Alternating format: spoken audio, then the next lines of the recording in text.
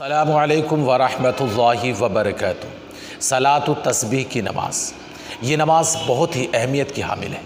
اور اس نماز کو اللہ کے حبیب صلی اللہ تعالیٰ علیہ وآلہ وسلم نے سب سے پہلے اپنے چچا جناب سیدنا حضرت عباس رضی اللہ تعالیٰ عنہ کو تعلیم فرمائی۔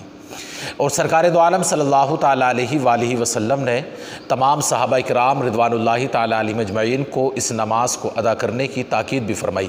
اقالی صلاۃ السلام اشاد فرماتے ہیں کہ میرے صحابہ، اس نماز کو ہو سکے تو روزانہ پڑھو، روز نہیں پڑھ سکتے تو ہفتے میں ایک مرتبہ پڑھو ہفتے میں ایک مرتبہ نہیں پڑھ سکتے تو سرکار فرماتے ہیں کہ پھر مہینے میں ایک مرتبہ پڑھو۔ مہینے میں ایک مرتبہ نہیں پڑھ سکتے، پھر تو چھ مہینے میں ایک مرتبہ پڑھو۔ چھ مہینے میں بھی ایک مرتبہ نہیں پڑھ سکتے تو اللہ کے حبیب صلی اللہ علیہ وسلم نے فرمایا کہ پھر سال میں ایک مرتبہ پڑھو۔ اور اگر یہ بھی نہیں ہو سکتا تو پیارے آقا علیہ صلاۃ والسلام نے فرمایا کہ پھر پوری زندگی میں ایک مرتبہ پڑھو۔ اور یہ حکم کیا دیکھیے تمام امت کے لیے کہ ساری زندگی میں کم سے کم ایک مرتبہ اگر زیادہ نہ ہو سکے تو صلاۃ و تصویر کی نماز ایک مرتبہ کے دیکھیے ضرور پڑھیں۔ اس میں بہت برکتیں ہیں، کوئی کام نہ بنتا ہو، کوئی پریشانی ہو، کوئی مشکلات ہو۔ اور اس کا ایک اور فائدہ یہ ہے کہ اس نماز کے پڑھنے سے تمام صغائر، کبائر یعنی تمام چھوٹے، بڑے، تمام گناہ اللہ رب العزت معاف فرما دیتا ہے۔ اس کی بڑی فضیلتیں کہ دیکھیں، حدیث پاک میں بیان کی گئی ہیں۔ عورتیں بھی پڑھیں، مرد بھی پڑھیں۔ ہمارے بہت سارے کہ دیکھیں، اسلامی بھائی ایسے ہیں جو ہفتے میں یا کبھی کبھی دوسرے یا تیسرے دن یا روزانہ پڑھنے والے بھی ہوں گے، میں سمجھتا ہوں۔ تو اس نماز کو پڑھنا چاہیے۔ کم سے کم کیا دیکھیے، ایک مرتبہ تو ضرور پڑھیں۔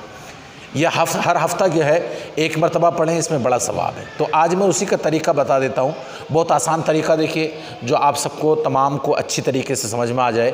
بہت آسان طریقہ دیکھیے، بتا رہا ہوں۔ سب سے پہلے ہمیں یہ کرنا ہے کہ ہم نیت کریں گے۔ نیت دل کے ارادے کا نام ہے۔ آپ دل میں کہہ لیں اپنے، یا یوں کہہ لیں کہ نیت کی میں نے واسطے نماز کے، نماز پڑھتا ہوں یا پڑھتی ہوں۔ واسطے اللہ تبارک و تعالیٰ کے چار رکعت نماز نفل۔ وہ میرا کعب شریف کی طرف، اللہ اکبر۔ یہ نماز نفل ہے۔ اب جب ہم اللہ اکبر کہہ دیں گے تو سب سے پہلے جو ہے ہم اس میں جو ہے ہم ثنا پڑھیں گے۔ ثنا کس طریقے سے پڑھیں گے؟ ثنا سبحانک اللہم۔ جیسے پڑھتے ہیں، تو ثنا پڑھنے کے بعد میں پھر ہم پندرہ مرتبہ، یہ تیسرا کلمہ ہے، جو تصویر کے اندر پڑھی جاتی ہے، یہ تیسرا کلمہ ہے۔ تو پندرہ مرتبہ اس کو پڑھیں گے۔ کیسے پڑھیں گے؟ سبحان اللہ والحمد للہ ولا الہ الا اللہ واللہ اکبر۔ سبحان اللہ والحمد للہ ولا الہ الا اللہ واللہ اکبر. سبحان اللہ والحمد للہ ولا الہ الا اللہ واللہ اکبر. یعنی یوں سمجھے کہ پوری چار رکعتوں میں کم سے کم تین سو مرتبہ، تین سو مرتبہ یہ تصویر کیا دیکھی ہوا کرتی۔ ایک رکعت میں سیونٹی فائیو مرتبہ جو ہے غالباً ہوگی، تو تین سو مرتبہ ہوگی۔ لہذا ہر رکعت میں ہم جو ہے پہلے شروع میں کیا کریں گے؟ پندرہ مرتبہ پڑھیں گے۔ تو پہلے ہم سب سے پہلے نیت کرنے کے بعد میں پندرہ مرتبہ تصویر پڑھیں گے۔ سبحان اللہ الحمد للہ ولا الہ الا اللہ واللہ اکبر۔ اس کے بعد یہ دیکھیے ہم آؤزو بسم اللہ پڑھنے کے بعد میں الحم پڑھیں گے۔ الحم الحم وغیرہ پڑھ لیں گے اور الحم وغیرہ پڑھنے کے بعد میں پھر جو ہے اس میں ضم سورہ جو سا بھی آپ کو اچھا یاد ہو وہ صورت لگائیں گے۔ پھر جو ہے کھڑے کھڑے رکو میں جانے سے پہلے دس مرتبہ سبحان اللہ والحمد للہ ولا الہ الا اللہ واللہ اکبر واللہ اکبر۔ اس کے بعد جو ہے دیکھیے ہم یہ کریں گے کہ ہم رکو میں جائیں گے اور رکو میں جانے کے بعد سب سے پہلے رکو کی تسبیح پڑھیں گے۔ رکو کی تسبیح کیسے؟ سبحان ربی العظیم۔ تین یا پانچ یا سات مرتبہ جو بھی آپ کو پڑھنا ہے تو پہلے رکوع کی تسبیح، اس کے بعد دس مرتبہ سبحان اللہ والحمد للہ ولا الہ الا اللہ واللہ اکبر۔ پھر جب ہم رکوع سے سر اٹھائیں گے تو سمیع اللہ لمن حمیدہ ربنا ولک الحمد کہنے کے بعد پھر جو ہے ہم دس مرتبہ پڑھیں گے سبحان اللہ والحمد للہ ولا الہ الا اللہ واللہ اکبر۔ اس کے بعد ہم کیا دیکھیں سجدے میں جائیں گے۔ سجدے میں جانے کے بعد میں پہلے سجدے کی تصویر پڑھیں گے، تین یا پانچ یا سات مرتبہ یا نو مرتبہ۔ سبحان ربی العلیٰ سبحان ربی العلیٰ سبحان ربی العلیٰ اس کے بعد جو ہے ہم دس مرتبہ سبحان اللہ والحمد للہ ولا الہ الا اللہ واللہ اکبر جو ہے پڑھیں گے۔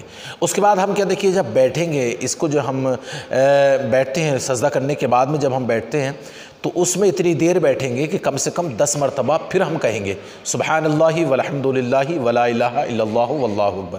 اس کے بعد کیا دیکھیں ہم پھر سجدے میں جائیں گے۔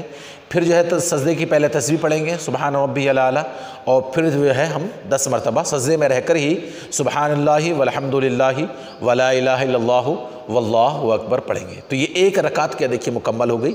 ایک رکعت کے بعد جب ہم کھڑے ہوں گے تو پھر ہم جو ہے شروع میں پھر اسی طریقے سے ہم کہیں گے، سبحان اللہ والحمد للہ ولا الہ الا اللہ واللہ اکبر۔ پہلے کیا دیکھیے یہ پڑھیں گے، اس کے بعد جو ہے ہم الحم شریف، پھر زم سورہ، پھر کیا دیکھیں دس مرتبہ سبحان اللہ والحمد للہ ولا الہ الا اللہ اکبر۔ تو جس طریقے سے میں نے بتایا، اسی طریقے سے کیا دیکھیں ہم ہر رکعت میں کرتے چلے جائیں گے۔ ہر میں اسی طریقے سے کریں گے۔ اور نماز صلاۃ تصویح کیا دیکھیے، پڑھنے کے بعد میں ہو سکے تو کچھ دیر استغفار پڑھیں اور پھر جو ہے رسول اعظم صلی اللہ علیہ وسلم پر درود پاک پڑھیں اور پھر اللہ رب العزت کی بارگاہ میں گل گلا کر کے دعا کریں۔ علماء فرماتے ہیں کہ یہ نماز بہت ہی مقبول نماز ہے۔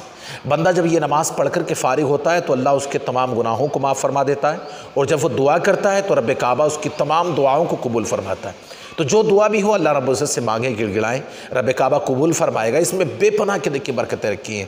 میں گزارش کروں گا کہ ہماری بہن اور ہمارے کیا دیکھیے اسلامی بھائی، سب کو کیا دیکھیے یہ نماز پڑھنا چاہیے۔